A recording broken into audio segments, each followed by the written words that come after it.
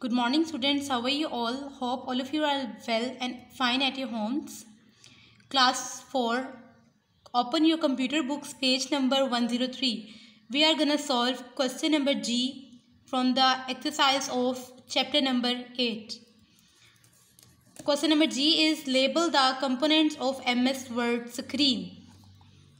Here is MS Word screen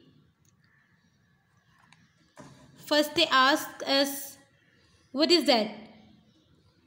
Quick access toolbar. On the top, title bar.